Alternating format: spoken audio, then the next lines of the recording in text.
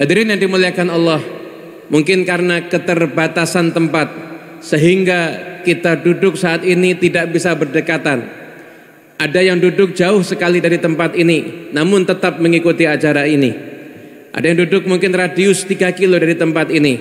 Ketahuilah bahwasanya saat ini saja kita semuanya duduk berjauhan tapi kita suatu saat akan dikumpulkan bersama. Karena kita semuanya sama-sama pecinta Nabi Muhammad dan pecinta Habib Ali bin Muhammad Al-Habsyi. Janji Nabi sallallahu alaihi wasallam kepada kita semuanya, anta ma'aman ahbabta. Sesungguhnya engkau akan dikumpulkan bersama dengan yang engkau cintai.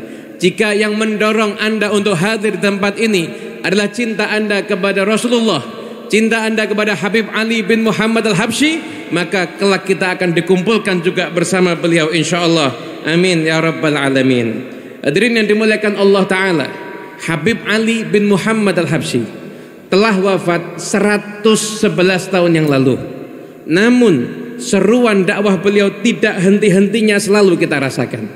Oleh karena itu tepat kiranya di majlis yang penuh dengan keberkahan ini mulai kita semuanya mengenal siapakah orang yang dengannya kita semuanya berkumpul di tempat ini yaitu Al-Imam Al-Arif Billah Al-Habib Ali bin Muhammad bin Hussein Al-Habsyi. Habib Ali bin Muhammad Al-Habsyi beliau adalah putra dari seorang yang soleh. Ayah beliau bernama Habib Muhammad bin Hussein. Habib Muhammad bin Hussein adalah seseorang yang hidupnya digunakan untuk berdakwah di jalan Allah Ta'ala. Beliau masuk dari satu daerah ke daerah, dari satu perkampungan ke perkampungan yang lain beliau kumpul dan duduk bersama dengan orang-orang awam. Bahkan Habib Muhammad bin Husin ketika beliau berdakwah, beliau mengajak muridnya kemudian mengumpulkan petani-petani, petani yang apabila diajak untuk majelis taklim mungkin dia susah. Diajak untuk berkumpul belajar, mungkin dia susah. Maka Habib Muhammad bin Husin bawa muridnya, muridnya disuruh menggantikan petani itu bekerja dan petani itu duduk di hadapan Habib Muhammad bin Husin belajar wudhu, belajar sholat, belajar menata hati, belajar agar caranya gimana menjadi orang yang mulia di sisi Allah Subhanahu Wa Taala. Hidupnya digunakan untuk berdakwah. Suatu hari beliau mendatangi kota Syibam dan di situ beliau mendatangi ulama. Beliau datang untuk meminta dan musyawarah akan beliau meminang seorang wanita yang tujuannya akan dijadikan partner untuk berdakwah. Maka niatan yang mulia ini dan bagaimana kita lihat Habib Muhammad itu seorang ulama. Apabila beliau mau meminta wanita mana pun juga pasti akan diberikan. Namun beliau musyawarah sama ulama. Maka berapa banyak di antara kita mungkin jarang yang ketika akan menikah atau akan menikahkan putrinya musyawarah dulu dengan para ulama. Nabi Muhammad bin Husain musyawarah dengan para ulama kemudian ditunjukkan ini ada seorang perempuan dan ini akan bisa menjadi partnermu di dalam berdakwah di jalan Allah Ta'ala. Maka akhirnya dibawa ke rumah ayahanda daripada ibu Habib Ali. Sampai ada di sana kemudian dilamar dan ketika itu Habib Muhammad tidak bawa apa-apa sama sekali. Dan ibu, ayah dari ibu Habib Ali juga tidak meminta apa-apa sama sekali maka ketika ditanya kira-kira apa yang mau diberikan maka ayahnya menjawab ya ini putriku seorang syarifah kasih aja yang pantas untuk seorang syarifah. Kemudian ditanya, kapan pernikahan mau diadakan? Itu datang ada di waktu duha. Kemudian dikatakan pernikahan kalau bisa secepatnya malam ini insya Allah menikah. Maka kata ayahanda daripada Ibu Habib Ali, ya disampaikan kepada putrinya dan putrinya nggak kenal sama Habib Muhammad, namun putrinya percaya dengan orang tuanya. Gak berapa banyak saat ini orang tua yang sudah nggak dipercayai lagi sama anaknya dan anak yang udah nggak mau percaya lagi sama orang tuanya. Kemudian karena pilihan ayahnya nggak kenal, maka mengatakan siap dan malam itu juga dilaksanakan pernikahan.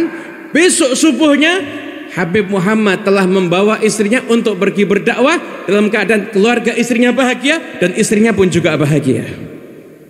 Berdakwah dan ketika itu terjadi omongan-omongan orang yang mengatakan bahwasanya ini kasihan pernikahan tidak meriah, pernikahan dan lain sebagainya. Maka berdakwah berjalan tidak lama, maka Habib Muhammad bin Husin mengirim surat kepada seorang ulama yang tadi memintakan istri untuk beliau. Dikatakan bahwasanya istriku Datuk Alawiyah binti Husain Al-Hadi Al-Jufri beliau berdakwah di kalangan perempuan-perempuan berjumpa dengan seorang wanita yang usianya 80 tahun seumur hidup tidak pernah sholat. Maka diajari caranya sholat dari caranya berwudu dari caranya bersuci. Maka wanita tersebut baru bisa sholat nggak lama meninggal dalam keadaan mengerjakan sholat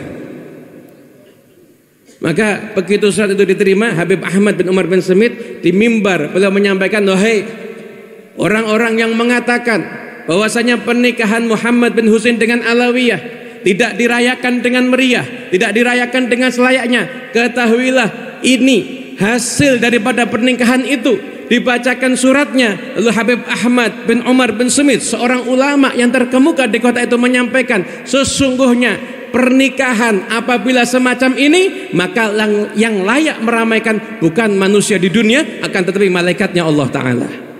Karena pernikahan dengan tujuan yang mulia manusia-manusia yang mulia dan akhirnya melahirkan anak yang luar biasa yaitu Habib Ali bin Muhammad Al-Habsyi.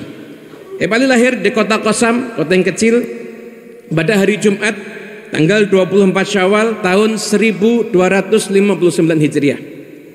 Ketika Habib Ali lahir di mana ayah beliau berada?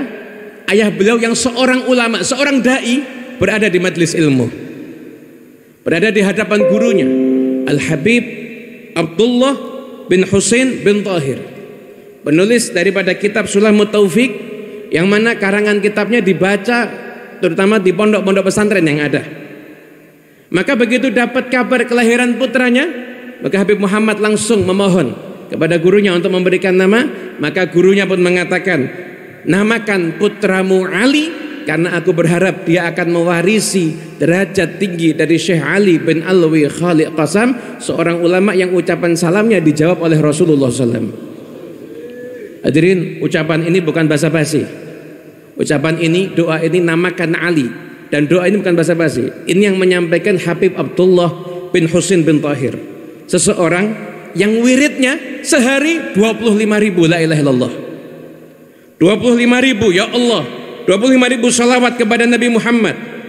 Salat malamnya 10 juz Al-Quran. Salat duhanya 8 juz Al-Quran. Manusia yang hatinya suci ketika mendoakan pasti doa yang terbaik keluar dari lisannya. Dan betul akhirnya karena barokah daripada doa tersebut maka Habib Ali bin Muhammad Habsyi tumbuh dewasa menjadi anak yang soleh ayahnya keluar pergi berdakwah dan beliau berada di bawah bimbingan ibunya. Di usia Habib Ali yang ke-17 tahun, Habib Ali diminta oleh ayahnya untuk pergi ke Mekah. Karena di usia 7 tahun Habib Ali beliau udah nggak jumpa lagi sama ayah karena ayahnya berdakwah di Mekah. Usia 17 tahun ayahnya meminta beliau ke Mekah. Habib Ali kurang lebih tinggal selama 2 tahun ada di kota Mekah mengambil ilmu dari para ulama yang ada di sana utamanya dari ayahnya sendiri juga mengambil ilmu dari para ulama yang lain seperti Syed Ahmad Zaini Dahlan dan juga ulama-ulama yang lainnya. Hingga akhirnya dua tahun Habib Ali tinggal di Mekah maka beliau pun kemudian kembali lagi ke kota Sewun. Beliau berdakwah di kota Sewun dan pertama kali beliau berdakwah beliau mengajar ada di satu masjid yang masjid itu dinamakan Masjid Hambal Masjid itu makmur karena Habib Ali. Di masjid itu setiap Habib Ali mengajar, baik mengajar ilmu nahwu atau mengajar ilmu fikih atau mengajar ilmu-ilmu yang lainnya, di masjid itu setiap Habib Ali mengajar, maka di situ ada 400 orang yang menghadiri majelis Habib Ali. Dan itu yaumian, itu setiap hari 400 orang hadir majelisnya Habib Ali. Kemudian Habib Ali juga pernah menceritakan bagaimana pengalaman beliau ketika beliau memulai dakwah di Masjid Hambal. Beliau mengatakan sesungguhnya tetangga-tetangga Masjid Hambal ini adalah orang-orang bisnismen tapi soleh. Ada Abdullah Basalamah, bisnismen tapi soleh. Banyak ulama memuji beliau. Setiap Habib Ali masuk ke masjid, maka beliau sudah ada masuk masjid di malam hari, yaitu sebelum waktu subuh, maka sudah ada Abdullah Basalamah, beliau membaca Al-Quran ada di masjid. Kemudian ada juga Syekh Husin Babher, ada juga Syekh Muhammad Al-Khatib. Itu ulama-ulama semuanya wiridnya 5 juz Al-Quran setiap malam, sholat malam sekian puluh kali. Itu wiritannya mereka semuanya. Maka Anda bisa bayangkan betapa makmurnya saat itu. Habib Ali berdakwah dan berdakwah terus. Habib Ali juga punya kontribusi sosial di masyarakat yang tidak kecil. Di zaman Al Habib Ali bin Muhammad Al Habsyi dikatakan di kota Sewon tempat beliau tinggal hampir-hampir, hampir-hampir, bukan tidak ada sama sekali, hampir-hampir dari ujung ke ujung tidak ada orang yang berselisih ataupun bermusuhan. Kalau sampai terjadi permusuhan, maka akan segera didudukkan dan kemudian didamaikan. Bahkan ketika krisis, Mungkin banyak sekarang ada yang mengkhawatirkan akan terjadi krisis dan lain sebagainya. Ketika krisis, Habib Ali menjamu, menghidupi seluruh penghuni kota Sewon selama tiga bulan lamanya. Dakwah beliau kontribusi sosial. Kemudian beliau mendamaikan orang-orang yang berselisih. Bahkan pernah di kota yang lain hampir terjadi saling bunuh karena ada satu kasus maka Habib Ali datang ke sana dan Habib Ali yang mendamaikan sehingga kasus wah apa resiko terjadi peperangan yang ada di sana sampai angkatan suku dan lain sebagainya itu bisa meredam. Yang ada hanyalah kasih sayang karena dakwahnya Al Habib Ali bin Muhammad bin Husain Al Habsyi di usia yang ke-37 tahun Al Habib Ali membangun ribat. Dan ribat itu dengan model dan tata cara yang seperti itu adalah ribat yang pertama kali ada di negara Hadramut. Karena sebelumnya apabila orang belajar ilmu agama itu sistemnya halakoh-halakoh. Datang ada halakoh dan lain sebagainya. Maka Habib Ali dengan saat itu biaya yang terbatas maka beliau memberanikan diri beliau bangun rubat dan beliau tampung semua santri yang akan belajar dan beliau gratiskan tidak ada biaya sama sekali. Usia beliau 37 tahun. Usia Habib Ali yang ke-44 tahun, maka beliau pun sudah membangun masjid yang dinamakan masjid beliau adalah Masjid Riyadh. Sebagaimana masjid di mana saat ini kita berada, Masjid Riyadh. Nah, kenapa Habib Ali bangun ribat dulu baru bangun masjid? Karena Habib Ali lebih mementingkan membangun orang yang akan memakmurkan masjid daripada membangun masjid tapi masjidnya akhirnya nggak makmur. Tapi dibangunkan orang-orang yang akan memakmurkan masjid. Kemudian setelah itu usia 44 tahun dibangun masjidnya dan masjidnya itu makmur dengan ilmu, makmur dengan amal-amal soleh. Habib Ali di antara keistimewaan beliau, beliau itu mendapatkan gelar Hamilu Liwa'i Mahabbatil Muhammadiyah. Pemegang bendera cinta kepada Nabi Muhammad sallallahu alaihi wasallam. Habib Ali bukan hanya sekedar orang yang Allah karuniakan derajat yang tinggi bisa mimpi berjumpa dengan Nabi Muhammad. Namun lebih daripada itu, Habib Ali bisa berjumpa langsung dengan Rasulullah dalam keadaan terjaga. Bukankah Rasul sudah wafat? Gimana kok bisa ketemu Nabi dalam keadaan terjaga? Seandainya Nabi nggak pernah menyampaikan, maka kita pun juga nggak akan tahu. Tapi sesungguhnya Rasul sudah menyampaikan dalam sabdanya, "Man ra'ani fil manam fasayarani fil yaqadhah." Barang siapa yang berjumpa aku di dalam mimpinya, maka dia akan berjumpa denganku dalam keadaan terjaga. Karena sesungguhnya Nabi Muhammad SAW beliau tidak mati Beliau hanya berbeda alam dengan kita semuanya. Apabila seseorang yang mati syahid dikatakan bal ahyaun inda rabbihim yurzaqun maka apalagi dengan orang yang mengajarkan ilmu tentang kesyahidan yaitu Rasulullah sallallahu alaihi wasallam maka beliau pun juga hidup di sisi Tuhannya dalam keadaan mendapatkan rezeki maka mungkin saja untuk orang-orang yang istimewa bisa berjumpa Nabi dalam keadaan terjaga Habib Ali di usianya yang belum genap 22 tahun ketika itu. Beliau ketika berziarah ke makam Rasulullah SAW maka beliau berjumpa Nabi dalam keadaan terjaga. Maka Nabi berkata pada Habib Ali, "Amma tardha ya Ali?"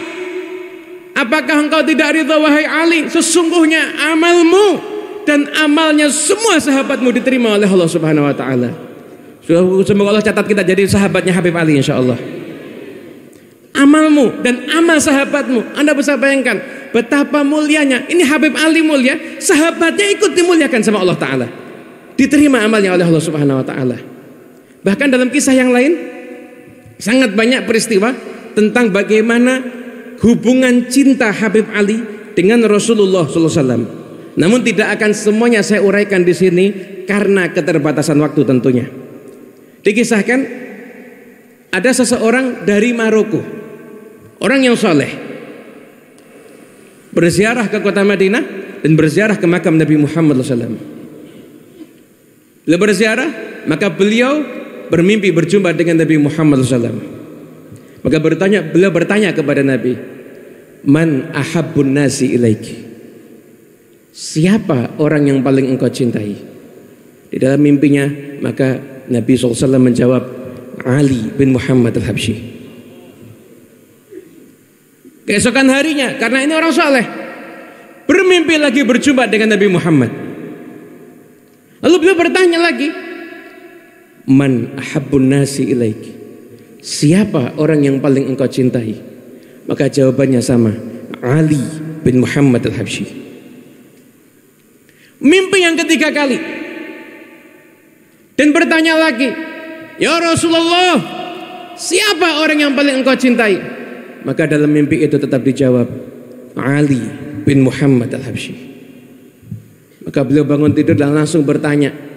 Beliau tanya di Madinah ini ada nggak orang yang bernama Ali bin Muhammad al-Habsyi? Maka ditunjukkan orang yang bermagra al-Habsyi tapi yang lain bukan nama Ali bin Muhammad. Tunjukkan lagi pada Ali bin Ali al-Habsyi sampai akhirnya orang-orang bertanya kenapa kamu mencari Ali bin Muhammad al-Habsyi?